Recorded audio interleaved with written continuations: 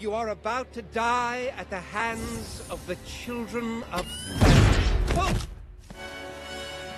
Tony? Oh boy, are you guys screwed.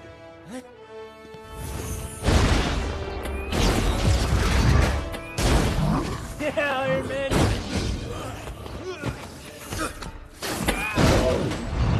Wait, what are you guys? That's. Uh, that sort of seems like overkill.